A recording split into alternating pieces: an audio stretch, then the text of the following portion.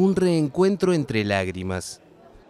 Decenas de familiares de Corea del Sur y del Norte se vieron por primera vez desde que la península y sus familias quedaron separadas por la guerra hace casi siete décadas.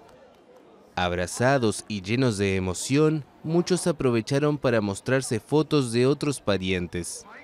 Entre lunes y miércoles, los 89 participantes surcoreanos pasarán unas 11 horas con sus familiares en la localidad turística del Monte Kumgang, bajo la supervisión de agentes norcoreanos.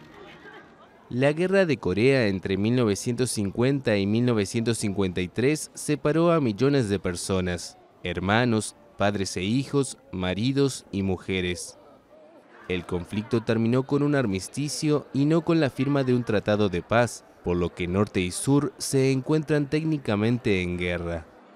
Un total de 130.000 surcoreanos se habían presentado como candidatos a estas reuniones, pero la inmensa mayoría ha muerto y muchos tienen más de 80 años, uno de ellos incluso supera los 100.